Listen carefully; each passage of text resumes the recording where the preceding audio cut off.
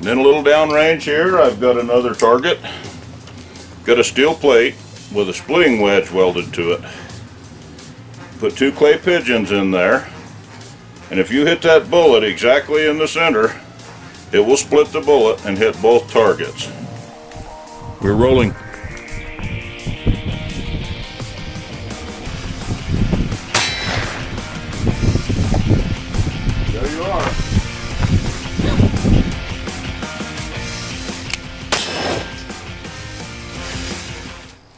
There, you just saw me split a bullet on the draw.